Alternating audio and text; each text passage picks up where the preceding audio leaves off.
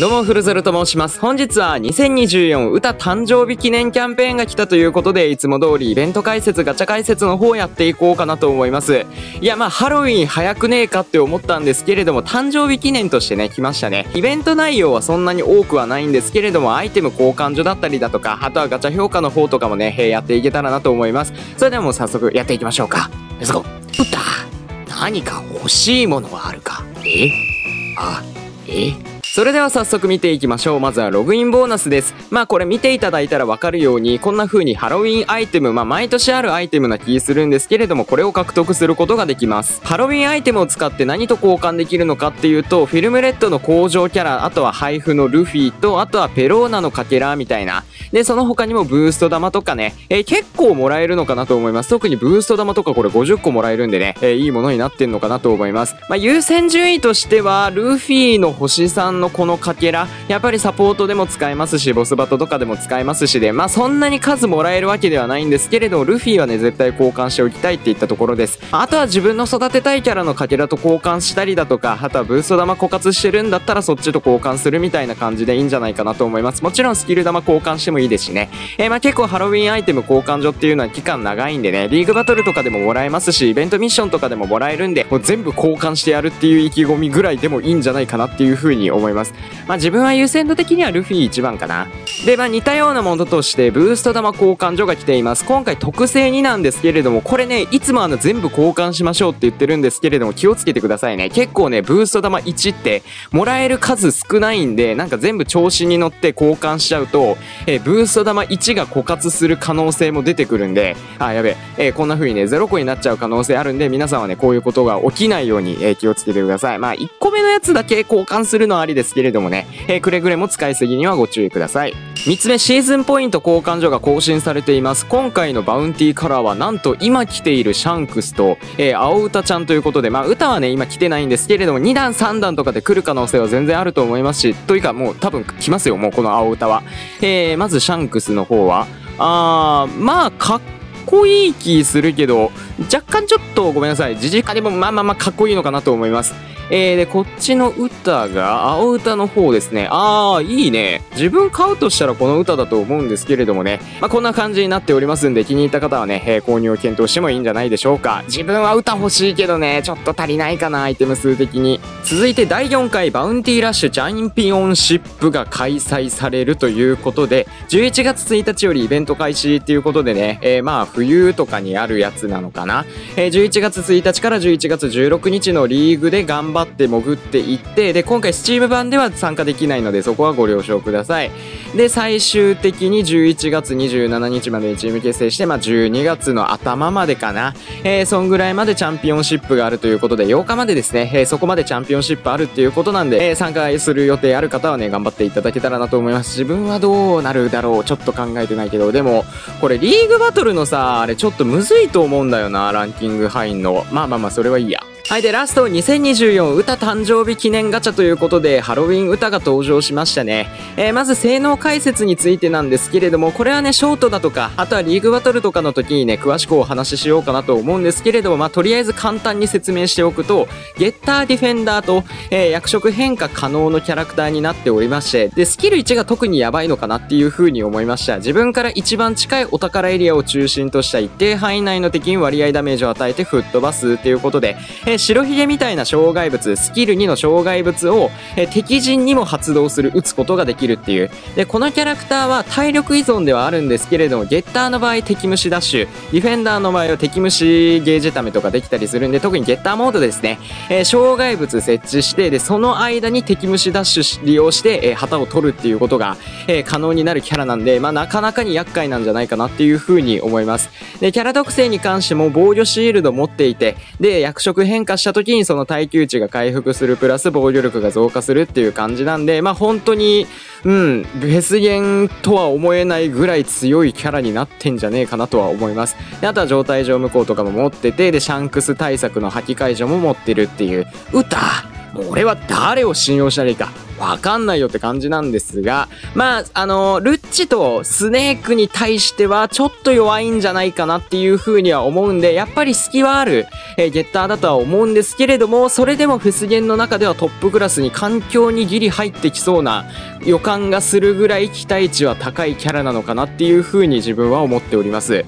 で、ガチャの内容についてなんですけれども、まずはこちらのチケットですね。3800円で1枚購入することができて、1枚購入するたびにかけら125個入手することができます。で、合計4枚購入すると500個集まって、えー、かけらで交換することができるっていう、まあ、ルッチガチャみたいな感じですね。で、まあ、ルッチガチャとは違う点としては20%、最後の1体20%で、えー、入手することができるんで15連なんですけれどもね、最後の1体が20%なんで、育成はしやすいのかなと。1回でも当てたら結構簡単にレベル80まで持っていくことできると思うんで、そういう意味ではね、かなりいいガチャなのかなと思います。ういう意味でもかな。で、ダイヤに関しては40個使って11連引けると。で、11連引くと、えー、かけら10個。えー、獲得することができて、で、これも500個必要なんで、合計2000個ですかね。えー、まあ、だいぶ数は多いんですけれども、こちらもね、えー、1%っていう普通のフェスゲンと、えー、同じ確率にはなっているんで、道中では当たりやすいんじゃないかなと思います。だから、まあ、今回の歌のガチャ評価としては、5点満点中4.3点を上げたい。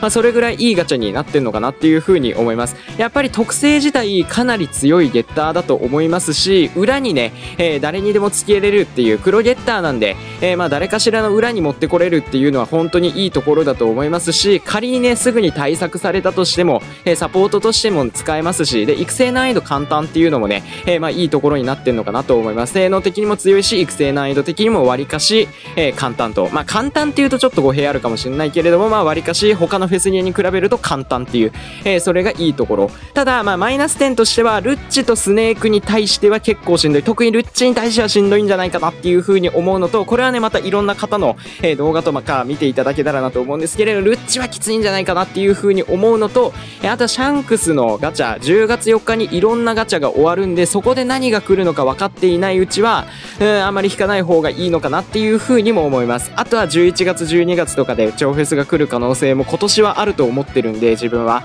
うん、だからまあそういう意味ではスルーでもいいのかなとは思うんですけれども、まあ特性とかガチャの、え、難易度というかまあ育成難易度とかそういうのを含めるんだったら5点満点中4.3ぐらいは上げたいいいガチャになっているんで、えー、全然引いてもいいガチャになってるのかな。ドリブルよりかはまあ普通におすすめしたいガチャになっておりますね。こっちのガチャは。こっちはあのあんま、うん、スルー推奨みたいな話したんですけれど、歌の場合は全然引いちゃってもいいのかなっていう風に自分は思っております。じゃあ最後にね、ガチャの方引いていこうかなと思います。まあチケットとりあえず1枚購入してきたんで、まあ20%と確率はそんなに高くはないんですけれども、え、まあフェスゲンのガチャは割かし当たりやすいっていう風に自分は思っておりますんで、ちょっとね、ここらで当てていこうかなと思います。いきましょう。ドリブロで結構使っちゃったからね、一発で当てたいところなんですけれども、まあ結構本当に特性自体は、うん、かなり強いのかなと思いますし、黒属性なんでね、えー、本当に万能なゲッターになんじゃないかなっていう風には思います。これは来たな。やっぱね、フェスゲーはね、私、だいぶ当てやすいんですよ。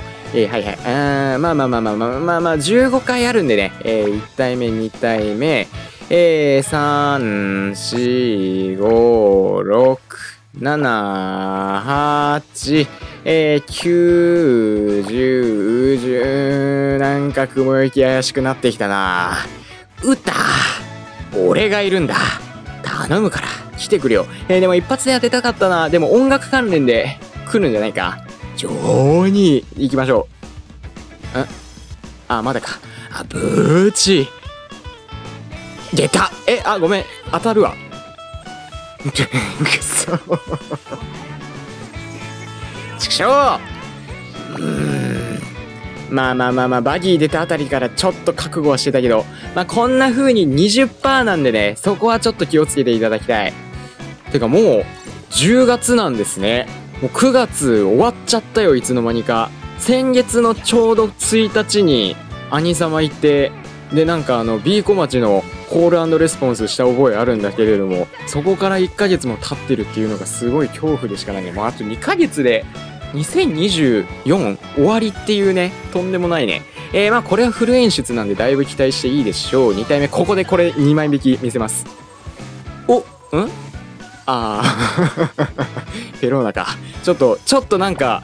変な感じになっちゃったけど。いやでもペローナもなんかね、新キャラ出るといいんですけれどもね。えー、はいはい、6体目。これ3体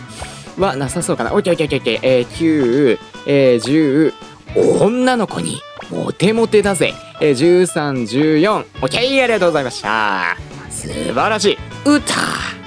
俺を。いいね。ありがとうございました。いや、まあ2枚で当たったのはマジでいいね。いや、本当に。ペローナまで来たっていうのもいいですよね。ちょっとこれは祝福してくれてる感じがするわ。見ててくれ。よし、ラスト。ダイヤでも当たるっていうことをね、最後皆さんにお見せして終わりたいなと思います。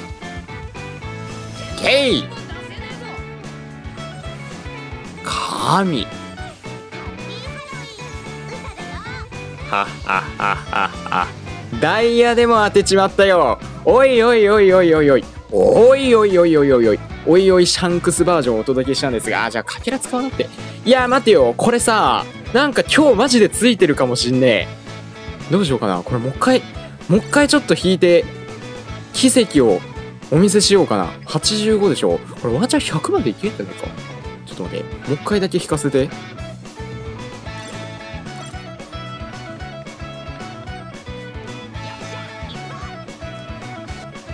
じゃあね、これで終わりたいなと思います。まあ本当に黒歌の性能が予想以上に強かったっていうのと、えー、あとはまあ期間も結構長かったっていうのはあるんで、まあ今すぐに引くほどではないかもしんないんですけれども、まあ全然ね、引いちゃっていいキャラにはなってんのかなと、普通に強いキャラではあるんでね。えー、で、今度いつね、実装するかもわかんないんで、今のうちに入手しておくっていうのも一つ手なのかなっていうふうに思います。ただやっぱさっきも言ったように10月4日のチャンクスガチャ終了後に、えー、何が来るのか分かってないっていうのと、やっぱり超フェスが、まあなんやかんやで来るかもしれないっていうね、10月、まあ10月は来ないと思うけれども、12月ぐらいには来る来るかもしれないんで、まあそれに向けてね、えー、ダイヤ貯めてる方は別にまあ無理に引かなくてもいいのかなとは思います。まあ引いてもいいっていう度合いがいつもより大きいっていうような、まあそんなキャラですかね。まあ絶対獲得すべきっていうのはフェスゲンの中ではあんまりないんだけれども、まあそんな評価になってるっていうのは最後言っておきます。はい、それでは最後までご視聴いただきありがとうございました。また次回の動画でお会いしましょう。バイバイ。